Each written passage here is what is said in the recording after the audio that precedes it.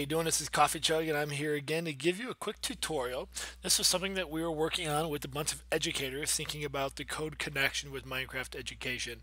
And I had the amazing Mark Grindell um, Skyping with our teachers. Unfortunately, the video got lost on my computer somehow. It got corrupted and it, won't play. So I'm, I'm, not taking credit for the idea, um, but we're going to go ahead and do this again because it was so good that I think it's a great lesson to help other educators as well as students learn the basics of coding. And so I'm just going to go ahead and turn this here to always day just so it's easier to see um, in this world. And so what we want to do is we're going to go ahead and pull up the code connection. So we're going to type in backslash code and it should load up my code connection here. And we're going to use make code here for this particular pr project. And let me go ahead and mute down this the music here um, so don't listen to this the whole time. So go ahead and drop this down here. There we go. That'll be a little bit easier for you to probably hear and listen. And then we're going to go ahead and drag this code connection over this way. So as we think about our code connection here, we're going to go to a new project. And the first thing that we're going to do here, we're going to go ahead and create a couple commands for our agent. And the, the challenge that we have is how do we make a square? And so I'm going to kind of work you through the thinking process, not just answer right away, um, but just so you can kind of understand some ways in which you can have these conversations with kids. The very first thing that we would do if I was in a classroom is we would physically do this, kind of like the unplugged activity that you can find online for unplugged computer science. You can use Lego bricks where each little um, each little circular part of the uh, of the Lego could represent a block, and we would talk about like how could we physically with our human bodies make a square. And so we talk about how many steps. You know, say you wanted to make um, a 10 by 10 square, um, so a perimeter of 40. What would we have to do? We have to take 10 steps. We have to turn right, take 10 steps, turn right. And as we go through that, we're going to be able to debug our coding and programming so kids start to realize that computers and coding is only as smart as we are. So let's jump into this code here in the code connection. The first thing I'm going to do is I'm going to type in one for this TPA, and this is going to stand for to teleport our agent.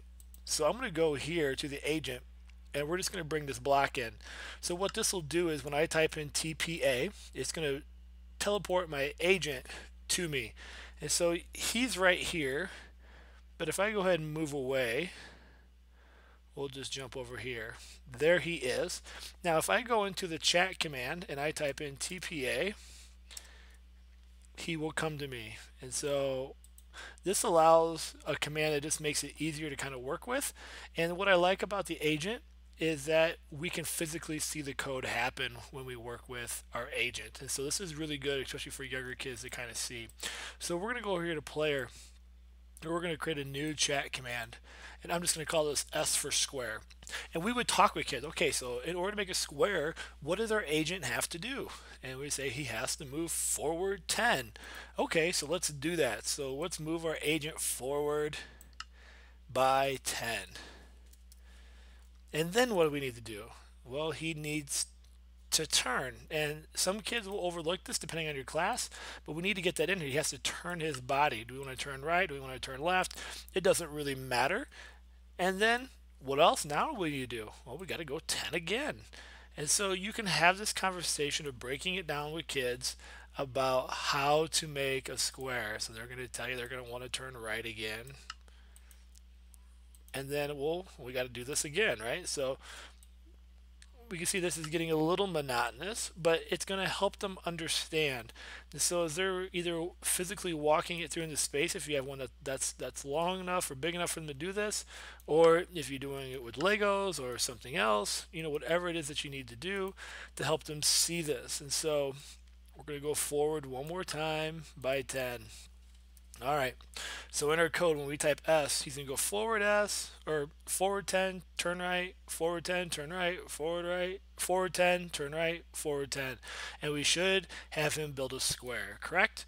So we go here to resume. We type in T for our code. We hit S, and away he goes. but we we don't see a square here, do we?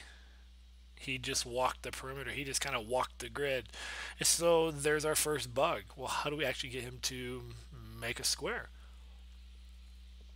So after some conversation, the kids will hopefully figure out that, oh, we have to actually tell him to put a block in. So we have to go here to agent, and we're going to tell him that we need to place on the move. And see how this is false. We're going to say, do we need that false or true? Oh, we need it true. Oh, okay. So let's go back here, type in S, see what happens.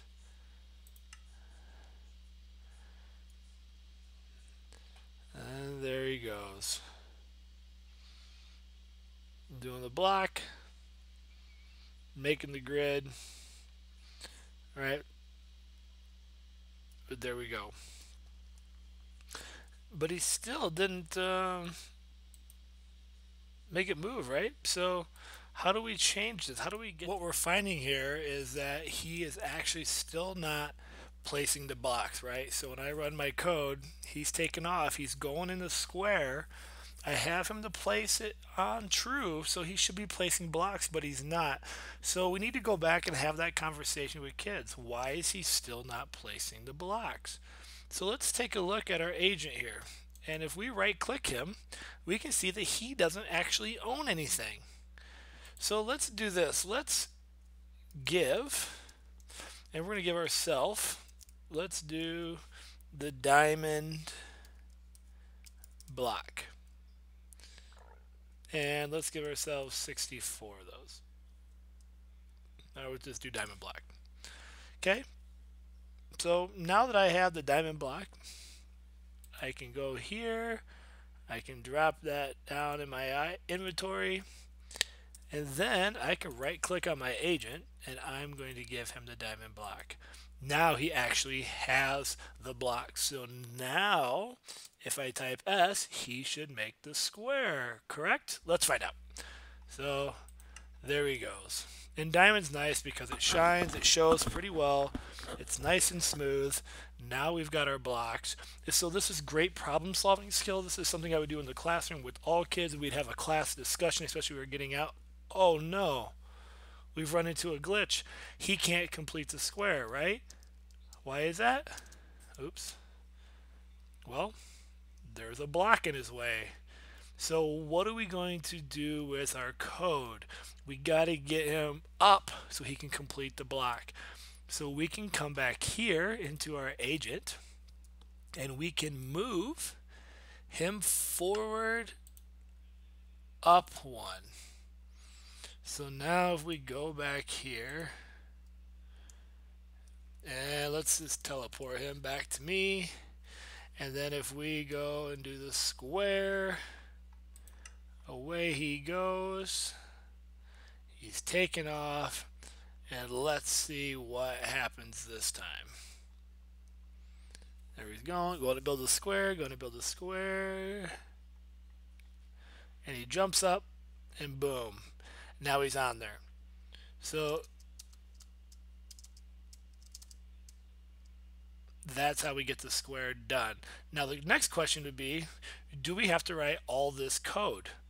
So if we were to come here and do a different one, we could teach the kids logic. So if I type in a new chat command, we could go here and I could go down here to the loops and we have a forever, we have on start, we can repeat. Because we're doing a square, we could repeat it four times. And then what we can do is we can take some of these blocks from here. Actually, you know what? Let's just leave that there so you have it as an example. We're going to move forward by 10 and then we are going to turn left. Now the question becomes where do we place this agent move block to true? Do we need that in the loop? Do we need it somewhere else? You can have that conversation and what we need to do. We don't need to have it loop every single time. So we can just put it right there that it's true. All right, and the same thing for this agent move up block.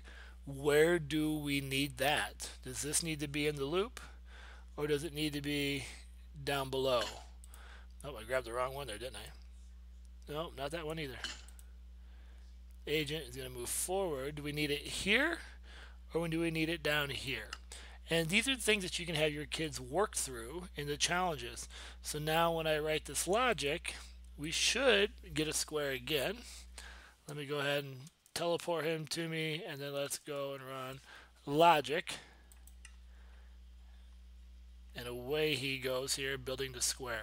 And so we can start to teach kids you can write code much more effective and quicker and easier once we start to realize what we can do with these other blocks of code. There we go. And so we can have these conversations. I mean, if we were to put this in here, you know, and don't be afraid to show this with kids. So I put this up here, you know, let's find out what happens. So I'm going to bump up here. I'm going to bring them to me and let's do the logic. Let's find out if they made a mistake. And this is the beauty of Minecraft. You can't hurt anything. It doesn't cost you anything. We can bump up here and you can see what happens. Every he's going forward 10, he's turning left, and then he's going up a block. And so this is great for kids to kind of visually see what happens with our code. So we don't have a square, we kind of have this ongoing pyramid of sorts.